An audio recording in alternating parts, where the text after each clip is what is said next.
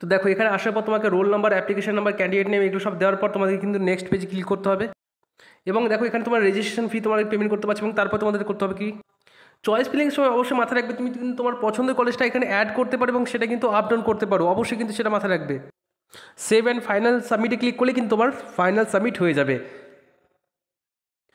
Hello everyone welcome to Safal Bangla YouTube channel Safal বাংলার এই মুহূর্তে তোমাদের সবাইকে স্বাগত হচ্ছে বন্ধুরা, আজ থেকেই তোমাদের রেজিস্ট্রেশন চয়েস ফিলিং এসব কিন্তু শুরু হয়ে গেল। তোমরা যারা যারা দু হাজার চব্বিশে জেএনএম এন নার্সিং পরীক্ষা দিয়েছ, তোমাদের রেজাল্ট তোমরা দেখিয়ে ফেলেছো এবং এই মুহূর্তে তোমাদের সব থেকে বড় যে প্রশ্নটা, সেটা হচ্ছে রেজিস্ট্রেশন কীভাবে করব? রেজিস্ট্রেশন করতে গেলে কী কী ডকুমেন্ট লাগবে, কত টাকা লাগছে এবং কীভাবে তোমরা বাড়িতে বসে মোবাইল থেকে এই ধরনের ফর্ম ফিল আপ করতে পারো, তার জন্য তোমাদেরকে একটা অ্যাডভান্স ভিডিও দিচ্ছি। আজকেই তোমাদের কিন্তু রেজিস্ট্রেশন শুরু হচ্ছে। কখন থেকে শুরু হবে, সেটা এখনই বলা সম্ভব নয়। বারোটা একটা বা এগারোটা বারোটার মধ্যে কিন্তু শুরু হয়ে যাওয়ার কথা, ঠিক আছে? তো প্রসেসটা কীভাবে করবে সেটা তোমায় দেখিয়ে দিচ্ছি, কারণ সেই সময় আমি একটু ব্যস্ত থাকব, হয়তো সেই সময় ভিডিও দিতে পারব না। তো ফার্স্টে বলে দিই, তোমরা যখনই দেখবে ওই ওয়েবসাইটটা আছে ডাব্লিউবি জেইবি ঠিক আছে? West Bengal joint entrance examination board সেখানে চলে যাবে, ওখানে গেলে দেখবে আমি তোমাদের সুবিধার্থে ডিসক্রিপশন বক্সে লিঙ্কটা দিয়ে দিচ্ছি সেই ওয়েবসাইটের সেখানে ক্লিক করলে দেখবে লেখা থাকবে যে click here for new registration ঠিক আছে কাউন্সিলিং রেজিস্ট্রেশন চয়েস ফিলিং এরকম একটা অপশন থাকবে ওখানে ক্লিক করে দেখবে তোমাকে বলবে, তোমার password security pin security pin এইসব চাইবে। তো এইসব কিছু দেওয়ার দরকারই, সরাসরি চলে আসবে নিউ ক্যান্ডিডেট রেজিস্ট্রেশন এই নিউ ক্যান্ডিডেট রেজিস্ট্রেশনে ক্লিক করলেই তোমাদের কিন্তু নতুনভাবে আবার রেজিস্ট্রেশন করতে হবে। ভুল করো, এখানে কিন্তু এই পাসওয়ার্ড সিকিউরিটি পিন দেওয়া দরকার নেই, কারণ তুমি আবার নতুন করে রেজিস্ট্রেশন করছ। যে রেজিস্ট্রেশন করে দিয়েছ সেটা নিয়ে আর লাভ নেই, এখন তোমাকে নতুন করে রেজিস্ট্রেশন করতে হবে। তার জন্য কিন্তু এই যে নিউ ক্যান্ডিডেট রেজিস্ট্রেশন আছে, এখানে কিন্তু ক্লিক করবে, ঠিক আছে? এখানে ক্লিক করে দেবে। ক্লিক করার সঙ্গে সঙ্গে তোমাদের সামনে এরকম একটা পেজ খুলে যাবে। এখানে তোমাকে বলবে যে, বলো তোমার রোল নাম্বার কী ছিল? রোল নাম্বারটা কোথায় পাবে? তুমি তোমার অ্যাডমিট কার্ডে খুঁজে নাও। অ্যাডমিট কার্ডে দেওয়া আছে, ওই রোল নাম্বারটা এখানে পরপর বসিয়ে নাও, ঠিক আছে? রোল নাম্বারটা দিয়ে দিলে অ্যাপ্লিকেশন নাম্বার কোথায় পাবে? অ্যাপ্লিকেশন নাম্বারটাও কিন্তু তুমি তোমার অ্যাডমিট কার্ডেই পেয়ে যাবে। অ্যাপ্লিকেশন নাম্বারটা লিখে নেবে, ঠিক আছে? লেখার পর ক্যান্ডিডেট নেম তুমি তোমার নাম লিখবে। এটা কিন্তু অবশ্যই যেটা অ্যাডমিট কার্ডে আছে সেটা লিখবে। অনেকেই আছে হয়তো বলবে, স্যার, নামে একটু ভুল হয়ে গেছে, বাবার নামে একটু ভুল হয়েছে, মায়ের নামে একটু ভুল হয়েছে ডেট অফ বার্থে ভুল হয়েছে। দেখো, যেটা ভুল হয়েছে, যেটা তোমার অ্যাডমিটে আছে, সেটাই লিখবে। যদি ভুল হয়ে থাকে, সেই ভুলটাই লিখবে। এখন আর সংশোধন করার কিছু নেই, ঠিক আছে? তুমি পরবর্তীকালে এফিডেভিট করে নেবে, সেক্ষেত্রে তোমাকে ওটা প্রাধান্য দিয়ে দেবে, অসুবিধা কিছু হবে না। কিন্তু এখন এই মুহূর্তে যেটা দিয়ে তুমি ফর্ম ফিল আপ করেছ সেটা তোমাকে দিতে হবে। তা না হলে কিন্তু পারবে না, ঠিক আছে? তাহলে ক্যান্ডিডেটের জায়গায় নিজে নিজের নাম লিখবে মাদার নেমের জায়গায় নিজে মায়ের নাম লিখবে, ঠিক আছে? এটা অবশ্যই লিখবে, লেখার পর ডেট অফ বার্থ যেটা আছে সেটা লিখে নেবে। লেখার পর দেখো সিকিউরিটি পিন চেয়েছে, এইখানে দেখবে নিচের দিকে একটা সিকিউরিটি পিন থাকবে, যে লেখাটা থাকবে সেই লেখাটা এখানে লিখতে হবে। ওকে বাড়িতে বসেই করতে পারো, কোনো দরকার নেই, অন্য কোনো কম্পিউটার দোকান যাওয়ার। তবু বলছি, তো যদি সম্ভব হয় আমি বলব একবার কম্পিউটার দোকান থেকে করাটাই বেটার ঠিক আছে? বাট কম্পিউটার যাদের অসুবিধা আছে, তারা মোবাইল থেকে করতে পারো, ঠিক আছে?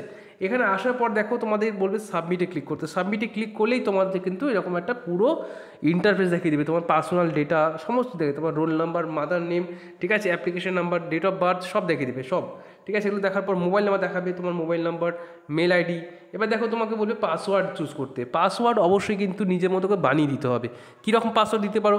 মনে করো তোমার হচ্ছে রাজু, ঠিক আছে? তো তুমি পাসওয়ার্ড লিখতে পারো রাজু রয় আর এ প্রথম অঙ্কটা অবশ্যই বড় হাতে লিখবে, তারপরেগুলো সব ছোটো হাতে লিখবে Raju Roy R O Y at the rate at the rate one বা অ্যাট দ্য রেট দু হাজার চব্বিশ। তুমি তোমার মতো লিখতে পারো, ঠিক আছে? এটা কখনো বলা যায় না। পাসওয়ার্ড নিজের মতো করে লিখবে, যে পাসওয়ার্ডটা এখানে লিখবে, সেই পাসওয়ার্ডটাই কিন্তু এখানে কনফার্ম পাসওয়ার্ডে লিখে দেবে, ঠিক আছে? যে পাসওয়ার্ডটা লিখলে, সেই পাসওয়ার্ডে কনফার্ম পাসওয়ার্ডে লিখবে। এবার কি করবে? এবার দেখো তোমাদেরকে বলবে যে সিকিউরিটি পিন সিকিউরিটি পিন মানে এই যে কোডটা আছে, এই কোডটা তোমাদেরকে এখানে লিখতে হবে। লেখার পর ফাইনাল সাবমিটে ক্লিক করে দেবে। ব্যাস, তোমার কাজ শেষ, ঠিক আছে? ফাইনাল সাবমিট ফর রেজিস্ট্রেশন এখানে ক্লিক করে দিলে ব্যাস, তোমার কাজ শেষ। এবার দেখো কনফার্ম বলে do you wish to submit তো তোমাকে ইয়েসে ক্লিক করতে হবে যে ইয়েস আমি সাবমিট করতে চাই। ব্যাস, হয়ে গেল।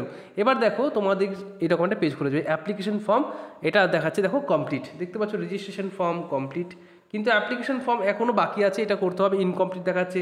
হ্যাঁ দেখতে পাচ্ছ যে কোয়ালিফিকেশন ডিটেলস এখনও ইনকমপ্লিট আছে। প্রেজেন্ট এমপ্লয়মেন্ট ডিটেলস এখনও ইনকমপ্লিট আছে কন্ট্যাক্ট ডিটেলস এখনও ইনকমপ্লিট আছে, এগুলো একটা একটা করে কমপ্লিট করতে হবে। এই জন্য কী করবে? এই জন্য নিচে থেকে দেখবে লেখা থাকবে application form go to application form এখানে ক্লিক করতে হবে ব্যাস অ্যাপ্লিকেশন ফর্মে ক্লিক করলেই দেখবে তোমার সামনে খুলে যাচ্ছে, এখানে জেন্ডার ফিমেল অল মানে অটোমেটিক্যালি সেট করা থাকবে জেন্ডার তুমি যদি মেল হয়ে থাকো মেল হবে, ছেলে হয়ে থাকলে ছেলে, মেয়ে থাকলে ফিমেল দেখাবে।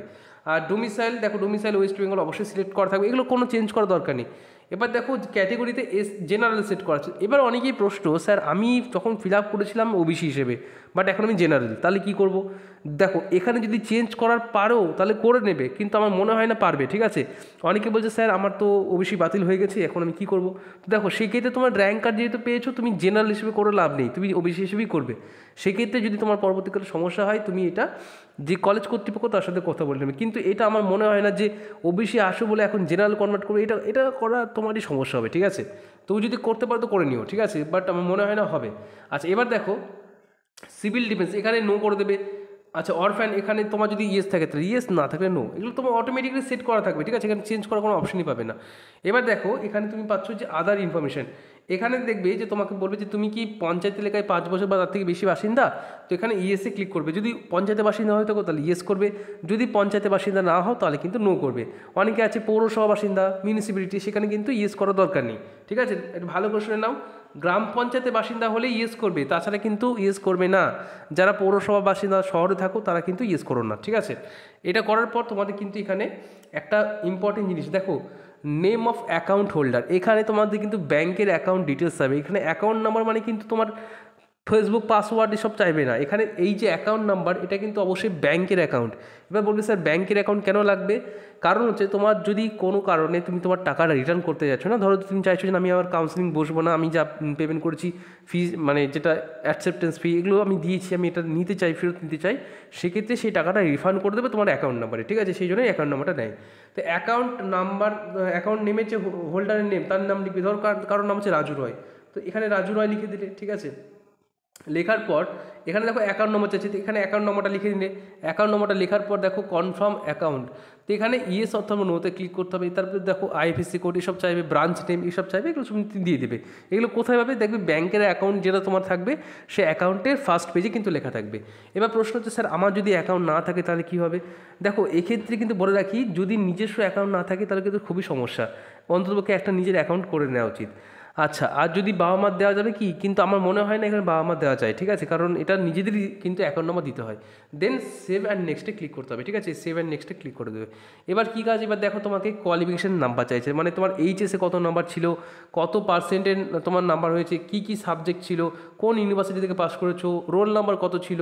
ঠিক আছে? রেজাল্ট মুড কী ছিল? অপটেন মার্ক কত হয়েছে? এগুলো জানতে চাইবে। একটা কথা তোমাদের বলে রাখি, তোমরা হয়তো অনেক সময় ওই যখন ফর্ম ফিল আপ করছিলে, তখন তোমরা বলেছিলে, স্যার, আমরা যে পাস করেছি এইচএস সেটা তো আমরা ডিটেলস দিতে পারলাম না। ওই ডিটেলসটা কিন্তু এখনই ফিল আপ করতে হয়, সেক্ষেত্রে দেখবে, এখানে বলবে পাসিং স্ট্যাটাস তুমি পাস করেছ না ফেল করেছ, এটা প্রথমে পাস অবশ্যই করতে হবে। ঠিক আছে, করার পর ইয়ার অফ পাসিং দু হাজার একুশ দু হাজার বাইশ, যার যেরকম পাসিং ইয়ার সেটা লিখে নেবে। কেউ যদি দু উনিশশো সালে পাস করতে করো, সেটা লিখবে। কেউ যদি তোমার দু হাজার ষোলোতে পাস করতে গো সেটা লিখবে দু হাজার তেরোতে, সেটা লিখবে। ঠিক আছে, লেখার পর রোল নাম্বারটা লিখে নেবে, ঠিক আছে? এবং এখানে নিজের নিজের ইউনিভার্সিটির নেম বা তোমার হচ্ছে কি কাউন্সিলিংয়ের নেম লিখে নেবে। তো আমাদের যেরকম West Bengal board of West Bengal counselling for higher secondary education সেটা লিখি, তো সেটা লিখে নেবে। এটা তোমার অ্যাডমিট কার্ডে লেখা থাকবে মার্কশিটও লেখা থাকবে। এবার রেজাল্ট মোড পার্সেন্টেজ হলে পার্সেন্টেজ সিজিপিএ হলে সিজিপিএ ঠিক আছে? সিলেক্ট করে নিলে সিলেক্ট করার পর ম্যাক্সিমাম মার্কস কত ছিল? দেখো আমরা যখন মাধ্যমিকে পরীক্ষা দিয়েছিলাম, সবারই কিন্তু পাঁচশো করেই নাম্বার থাকতো, তাই না? তো পাঁচশো হচ্ছে আমাদের টোটাল মার্কস এবং অপটেন মার্কস কত পেয়েছি? এই পাঁচশোর মধ্যে কত পেয়েছি সেটা আমাদেরকে এখানে অপটেন মার্কসে লিখতে হবে, ঠিক আছে? এবং পার্সেন্টেজ কত হচ্ছে সেটা অটোমেটিকলি চলে আসবে, ঠিক আছে? বুঝতে পেরেছ আশা করছি? এগুলো সব ফিল আপ করে নিলে, করার পর দেখতে পাচ্ছ এখানে তোমাদের একটা সাবজেক্ট আছে, সেটা হচ্ছে ইংলিশ অন্য কোনো সাবজেক্ট চাইনি কিন্তু সায়েন্স হতে হবে বা এটা হতে হবে, সেটা হতে হবে কিছু না। শুধুমাত্র ইংলিশে তোমাদের কত নাম্বার আছে? দেখো ইংলিশে তুমি পাস করছ না ফেল করছ, এটা পাস অবশ্যই হতে হবে ইংলিশে ফেল করে থাকলে কিন্তু তুমি এলিজিবল নও। আচ্ছা এবার দেখো ম্যাক্সিম মার্কস একশোর মধ্যে কত পেয়েছ সেটা তুমি লিখে দেবে। একশোর মধ্যে ম্যাক্সিম মার্কস আর অপটেন মার্কসে করলে কত পেয়েছ সেটা লিখে নেবে ব্যাস, হয়ে গেল। হওয়ার পর তবে দেখো এখানে তোমাদের যদি এএনএমের কোনো এক্সপিরিয়েন্স থেকে থাকে, তুমি যদি এএনএমের চাকরি করে থাকো এর আগে, তাহলে এখানে ক্লিক করবে, না থাকলে করা দরকার নেই। এটা কিন্তু খুব ভাইটাল জায়গা, এখানে ভুলভাল করবে না, ঠিক আছে? যদি কেউ এএনএমে চাকরি করে থাকো কোথাও, সেক্ষেত্রে এখানে টিক বক্সে টিক করে দেবে। যদি না করে থাকো, কিছু করার দরকার নেই, ঠিক আছে? বেশ, এবার দেখো এখানে আসার পর সেভ অ্যান্ড নেক্সটে ক্লিক করবে। যেটা আমি তোমাদের বলছিলাম যে এএনএম যদি করে থাকো। অনেকে আছে না এএনএম করার পর জিএনএম করতে চায়, তো সেক্ষেত্রে কিন্তু তারা এখানে তারা ফিল আপ করবে। তা তোমাদের করা দরকার নেই। ঠিক আছে? এখানে সেভ অ্যান্ড নেক্সটে ক্লিক করবে। ক্লিক করার পর do you have any experience তোমার কি কোনো এক্সপিরিয়েন্স আছে? দেখো, এখানে অনেকে ভাববে, স্যার, আমার তো হ্যাঁ অমুক দোকানে এক্সপিরিয়েন্স আছে বা আমার তো অনেক কোম্পানিতে এক্সপিরিয়েন্স আছে। দেখো, যদি তোমার হেলথ সেক্টরে বা হেলথের উপর বা জিএনএম নার্সিং বা নার্সিংয়ের উপর যদি কোনো এক্সপিরিয়েন্স থাকে, সেক্ষেত্রেই তুমি দিতে পারো। আদারওয়াইজ কিন্তু নয়, এখানে কিন্তু লেখা আছে। ঠিক আছে? তো যাই হোক, এখানে তোমার দেওয়া উচিত, যদি কেউ কোনো গভর্নমেন্ট জব করো, সেটাও দিতে পারো প্রাইভেট জব করলেও দিতে পারো, ঠিক আছে? বাট সেটা কিন্তু অবশ্যই নার্সিং ফিল্ডেরই ঠিক আছে? এখানে আসার পর ইএসএ ক্লিক করবে। এবার ক্লিক করার পর দেখবে তোমাদের বলবে যে এমপ্লয়মেন্ট বা এন্টারপ্রাইজ টাইপ কোনটা? সেটা সেন্ট্রাল স্টেট গভর্নমেন্টের নাকি সেন্ট্রাল গভর্নমেন্টের নাকি ইএসআই টাইপের এই দুটো চাইবে, ঠিক আছে? এবার সেটা ক্লিক করার পর তোমাদের সেভেন নেক্সটে ক্লিক করতে হবে। তো ম্যাক্সিমাম স্টুডেন্টেরই এক্সপিরিয়েন্স নেই, তারা এখানে আমাদেরকে, এখানে ক্লিক করে নো এ ক্লিক করে দেবো, ঠিক আছে? নো আমাদের এক্সপিরিয়েন্স নেই। ব্যাস, হয়ে গেল। আচ্ছা এবার দেখো, তোমার অ্যাড্রেস চাইবে। তোমার সিটি বা টাউন বা গ্রামের নাম লিখলে, তারপর কান্ট্রি ইন্ডিয়া লিখে দিলে state West Bengal district Birbhum pincode লিখে দিলে, এবং দেন হচ্ছে তোমার যদি দুটো একই হয়, তাহলে সেম হলে একই জায়গায় ক্লিক করবে। যদি আলাদা হয়, তাহলে তোমাকে এই জিনিসটা আবার নতুন করে নতুন অ্যাড্রেসটা লিখে দেবে। লেখার পর সেভেন নেক্সটে ক্লিক করে দেবে, ঠিক আছে? এবার দেখো, বলবে confirm do you wish to have do you wish to save তো এখানে আমাকে ইয়েসে ক্লিক করে দেবে ব্যাস, আমার হয়ে গেল কাজ শেষ। এইবার হচ্ছে আমার পুরো ডিটেলসটা দেখে নেওয়ার পালা যে আমি যা যা ফিল আপ করলাম সেগুলো সব ঠিক আছে কিনা। যদি সব ঠিক থাকে, তাহলে সেভ অ্যান্ড ফাইনাল সাবমিটে ক্লিক করে দেবো, আমার কাজটা শেষ। এবার দেখো তোমাদের শুরু হচ্ছে রেজিস্ট্রেশনের পালা। এবার কিন্তু আর তোমার ফর্মের কোনো ব্যাপার নেই। এবার কী করতে হবে? রেজিস্ট্রেশন করতে হবে। রেজিস্ট্রেশন করতে গেলে দেখো ফার্স্টেই তোমাদের কিন্তু ওই পে রেজিস্ট্রেশন ফিতে ক্লিক করতে হবে। ঠিক আছে? তা নাহলে কিন্তু হবে না। তো পে রেজিস্ট্রেশন ফিতে আগে ক্লিক করে নেবে। ক্লিক করার পর তোমাদের কিন্তু আগে পাঁচশো টাকা পেমেন্ট করতে হবে। দেখো লেখা আছে যে, are you are required to pay an amount of five hundred পাঁচশো টাকার পেমেন্ট করতে হবে, এখানে পে ফ্রিতে ক্লিক করতে হবে। এটা অনলাইনে করতে হবে অফলাইন কিন্তু অপশন নেই। ঠিক আছে? ক্লিক করার পর তোমাকে পেমেন্ট করে দিতে হবে। পেমেন্ট করার পর তোমাদের কিন্তু চয়েস ফিলিং যে অপশনটা আছে, এই চয়েস ফিলিং অপশনটা ক্লিক করতে হবে। ঠিক আছে? চয়েস ফিলিং অপশনে ক্লিক করে দিলে ক্লিক করার পর তোমাদের কিন্তু এখানে এই যে পেজটা খুলে গেল। এইখানে তোমাদের যে মেন ব্যাপার যে কলেজ চয়েসের ব্যাপারটা থাকে, যে চয়েস ফিলিং কীভাবে করব কলেজ চয়েস কীভাবে করব, এই জিনিসগুলো তোমাদের কিন্তু এবার আসছে। এইখানে ইনস্টিটিউট টাইপে ক্লিক করবে। এইখানে ক্লিক করে তুমি কি দেখতে পাবে? দুটো তিনটে অপশন দেখবে। দেখো প্রাইভেট ইনস্টিটিউট দেখতে পাবে স্টেট গভর্নমেন্ট এবং স্টেট ইউনিভার্সিটি তুমি স্টেট গভর্নমেন্ট বা স্টেট ইউনিভার্সিটি যদি ক্লিক করো, তাহলে যেগুলো সরকারি কলেজ বা সরকারি ইন্টারেস্ট সেগুলো দেখতে পাবে। আর যদি প্রাইভেটে ক্লিক করো, তাহলে প্রাইভেটগুলো দেখতে পাবে। তো আমি বলব, যাদের র্যাঙ্ক ভালো হয়েছে বা খারাপ হয়েছে, যাই হোক না কেন গভর্নমেন্ট কলেজ যেন অবশ্যই থাকে প্রাইভেট যদি রাখতে চাও, সেটা দুটোর থেকে রাখতে পারো। তাহলে প্রথমে আমি স্টেট গভর্নমেন্ট স্টেট ইউনিভার্সিটি দুটো ক্লিক করব। ক্লিক করার পর ঠিক এরকম একটা আমাদের কাছে খুলে যাবে। যতগুলো কলেজ আছে অল ওভার ওয়েস্ট বেঙ্গলে টোটাল দেখতে পাবে এরকমভাবে তোমাদের একশো, এখানে যেমন একশো চব্বিশ দেখাচ্ছে, এবছর কত দেখাবে, পরে তখন তোমরা দেখতে পাবে। দেখানোর পর তোমাদের কিন্তু এরকম একটা পেজ দেখাবে, দেখতে পাচ্ছ যে GNM training school Jangipur SD hospital GNM training school district hospital Krishnanagar GNM training school Lalgarh এরকমভাবে প্রত্যেকটা কলেজে দেখাবে। দেখানোর পর তুমি দিকে পাশের দিকে এই অ্যাড বলে একটা অপশন পাবে অ্যাড এই অ্যাড অপশানে ক্লিক করলেই কিন্তু তোমার কাছে পরবর্তী পেজ খুলে যাবে এবং দেখবে তোমার কাছে এই জায়গাটাই, অর্থাৎ দুটো ভাগ থাকবে। এখানে তোমাকে কলেজের নাম দেখাবে এবং এখানে দেখাবে তুমি যে কলেজগুলোকে পরপর সাজিয়েছো, সেই কলেজগুলো দেখাবে, ঠিক আছে? ঠিক এইরকমভাবে। দেখেছ? ধরো আমি এই কলেজটাকে আগে দিকে রাখলাম, এই কলেজটা এখানে গিয়ে অ্যাডে ক্লিক করে দিলাম। অ্যাডে ক্লিক করা মানে কিন্তু ফার্স্টের দিকে এই কলেজটা চলে আসলো। বুঝতে পারলে? এই দেখো ফার্স্ট এই কলেজটা চলে আসলো। আবার যদি আমি বলে দিই, ধরো তুমি এই কলেজটা রাখলে, এই যে ডিএনএম অ্যান্ড নার্সিং মিডিয়া ফেরি নুইয়াটি বদরতলা। এখানে এই যে অ্যাডে ক্লিক করে দেবে যে অ্যাডে ক্লিক করে দেবে না, এটা কিন্তু তারপরে চলে আসবে।